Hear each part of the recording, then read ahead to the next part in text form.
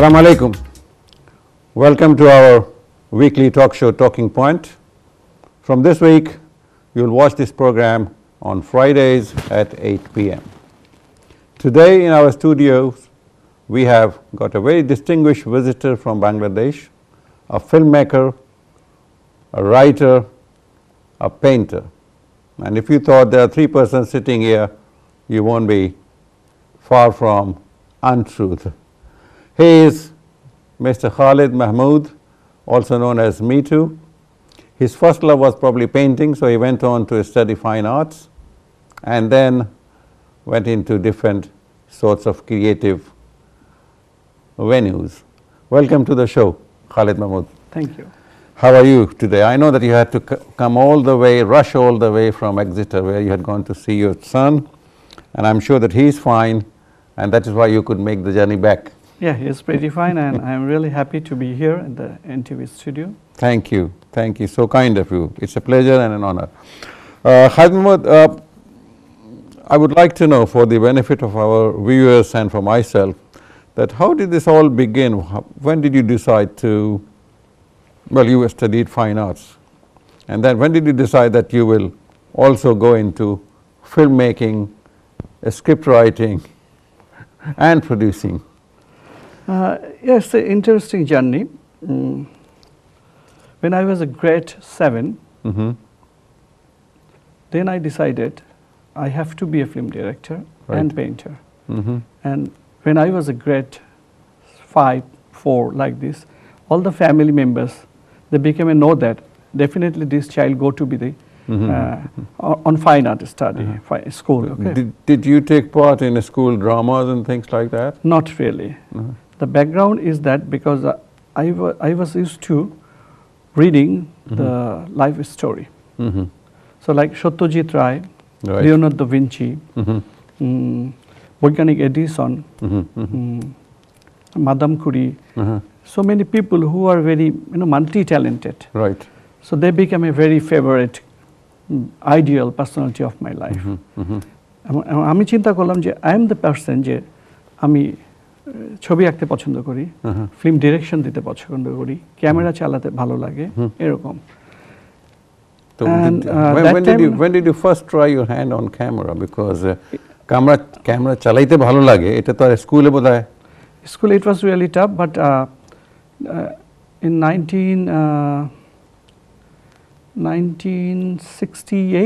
Uh-huh. আমি first camera কিনলাম twenty five টাকা দিয়ে use plastic camera Mhm. Toy camera almost Mhm. From New Market Mhm. After not, not, not a pin not a pinhole. Not a pinhole তারপর it's not possible যে develop করব বাইরে commercial স্টুডিওতে Uh-huh. দেন আমি ফুটপাতে just চারানা দিয়ে একটা বই পেলাম Mhm. About dark room developing and all this things তারপরে আমি কেমিক্যাল কিনে কিনে বানিয়ে বাসায় যখন সবাই ঘুমাতো রাতে গিয়ে জুতার বাক্সে লেন্স টেন্স লাগিয়ে এলনার্জার বানিয়ে প্রিন্ট করলাম এবং দেখলাম ইমেজ হচ্ছে. তখন আমার ইন্টারেস্ট ডেভেলপ করল দেন আমার মা বললেন if you really interested on photography go to mister Manzoor Baig Mhm. there is a photography institute. Mhm. So in uh, 1975 or 4, Mhm.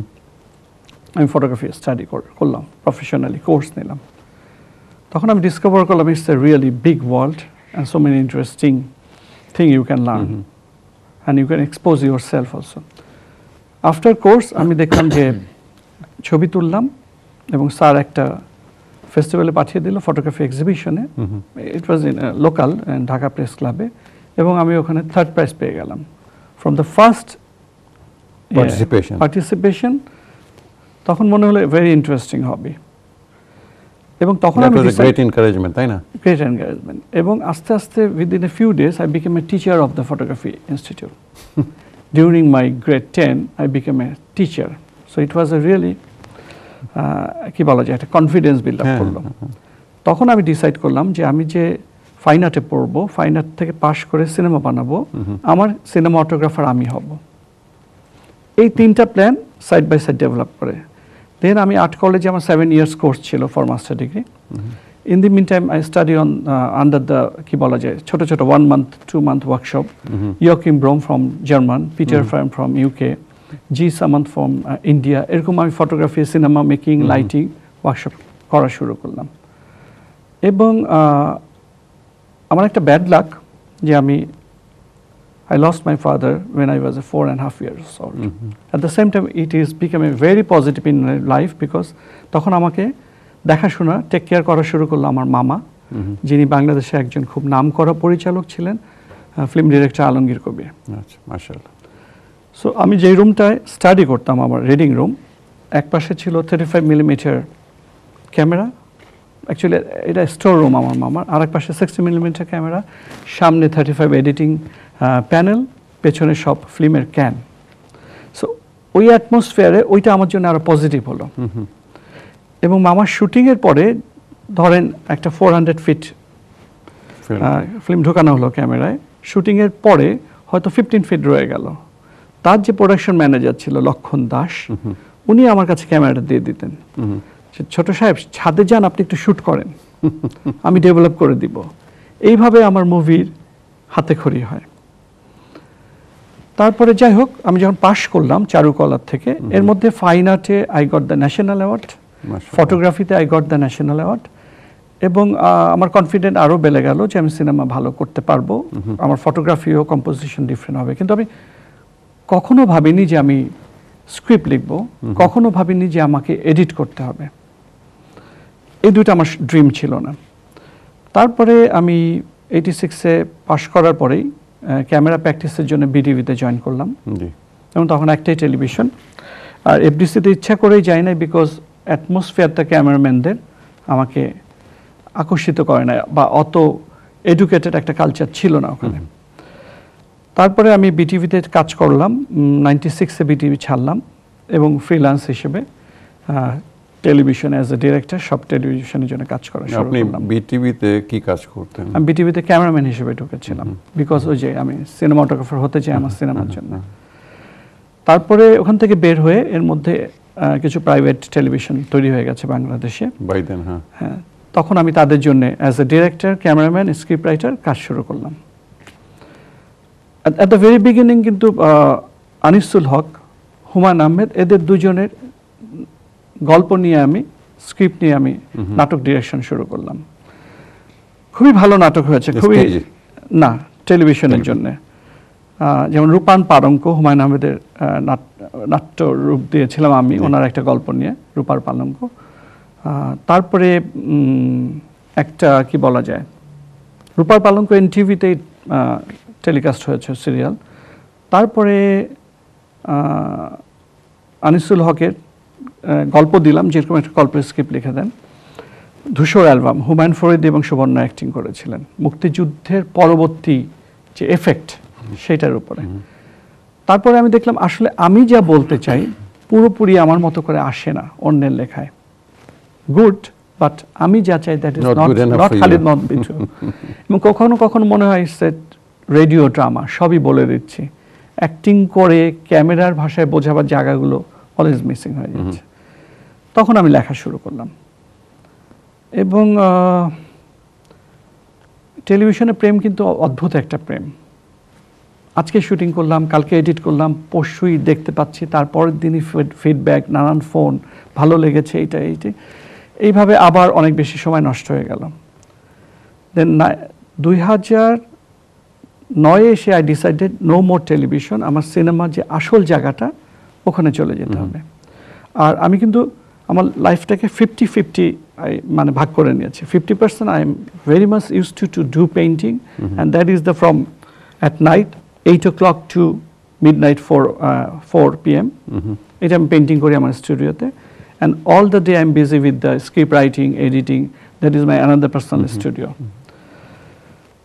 তারপর আফটার গহিনের শব্দ আমার ফার্স্ট ছবি গহিনের শব্দ ছবিটা হওয়ার সাথে সাথে before censor I receive the best director award from Okanagan film festival in Vancouver Canada next মান্থে দেখি চারটা পুরস্কার পেয়েছে গহিনের শব্দ ফ্রম ক্যালিফোর্নিয়া আমার শিশু শিল্পী আমার হিরো আমার একটা স্ট্রিট বেকার অ্যাক্টিং করেছিল দ্য ভাইটাল ক্যারেক্টার একটা মুক্তিযোদ্ধা বাট এখন সে রাস্তার ভিখারি এবং আমি অ্যাজ এ ডিরেক্টর তারপরে ন্যাশনাল অ্যাওয়ার্ড আসলো।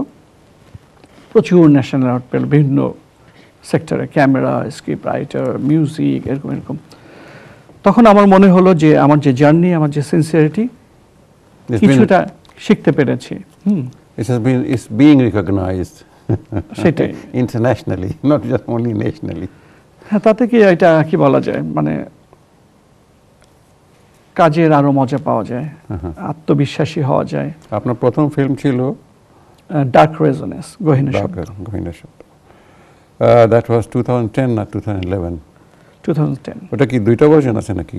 না, one, one. ওয়ান কারণ আমি দুই জায়গায় দুইটা নাম দেখেছি ডার্ক রেজোনেন্স অ্যান্ড তারপরে আবার গহীন শব্দ হ্যাঁ ওই ইংলিশ আচ্ছা। ফেস্টিভ্যালের জন্য ডার্ক রেজনেন্স আচ্ছা।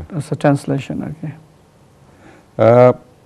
আপনার যে ফিল্ম জোনাকির আলো নাম করা film it was nominated foreign language film category ওটা সম্বন্ধে কিছু বলেন অ্যান্ড দেন ইনশাল্লাহ we would like to our viewers to share some of the clips from there, some of the footage from there. আমি তো কিছুটা কি বলা যায় কিছুটা কমিটমেন্ট আমার আছে হ্যাঁ। কতটা পারি দেখাতে জানি না যে সমাজের অনেকগুলো বিষয় আমরা ওভারলুক করে যাই and we are so busy with so many others things যে বেসিক অনেকগুলো কাজ হয় না। তো যেহেতু আমি পেইন্টার সেহেতু শিল্পী এস এম সুলতান যিনি আমাদের দেশে ছিলেন মাস্টার পেইন্টার তার সাথে আমার একটা ফ্রেন্ডশিপ ছিল, খুব ডিপ ফ্রেন্ডশিপ ওনার সাথে মিশে আই ওয়াজ সো লাকি যে আমি একটা very special philosophy of S M Sultan আমি জানতে পেরেছিলাম। দ্যাট ইজ মানে কি বলা যায়? আমাদের যে ফার্মাররা গ্রামে থাকে small one room one house. Entire family live in a one room single room then what happen at night যখন হোল ফ্যামিলি ঘুমায় ওখানে বাবা থাকে মা থাকে শ্বশুর শাশুড়ি বড় ভাই বোন. Husband wife at the night, the conjugal mo- moment of the husband and wife, children became a nose Mhm. and they frighten. Mhm. And also, they realize that because mother, father is over the mother, that means father is dictator, he is torturing mother. এটা অজান্তে তাদের ভিতরে একটা eroded তৈরি হয় একটা distance তৈরি হয় সে ভয় পায় বাবাকে। যখন বাবা হাল চাষ করে বাসায় ফিরে ইভিনিংয়ে যখন এসে বলে জরিমানা মা আমাকে একটু পানি দাও লাঙ্গলটা রাখে জরিনা দৌড়িয়ে আরেক জায়গায় আমতলায় খেলতে চলে যায়। বাবা বলে দৌড়িয়ে জড়িয়ে ধরে না।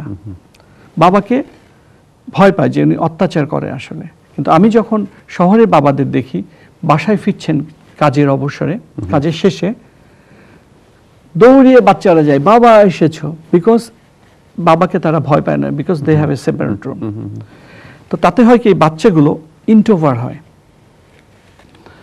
যখন সে জবেও আসে if the boss is man they always become a introvert and output is become a really too bad so এই ক্ষেত্রে আমার মনে হলো এইটা আমার এক্সপোজ করা উচিত। So social policy should be change তো আমার নায়িকা ক্যারেক্টার এই প্রবলেমটা সলভ করতে চায় জোনাকি আলো। এই জন্য জোনাকি আলো মানে কি? It's a symbolic name The fireflies. যা ফায়ার ফ্লাইজ ও নিজের আলোতে সে চলে নিজের জ্ঞানে সে চলে you move by your own knowledge এটা আহ। অ্যাকচুয়ালি থিমটা main Mahmood bhai, we will have to take a break, which is, uh, I always say, bread and butter for us. Uh, and uh, we will definitely see the clips uh, or rather some footage from Jonaki Alo in our next segment. Okay, viewers, on this uh, point, we would like to take a break, and when we come back, we will definitely see the footage of uh, Jonaki Alo. See you soon.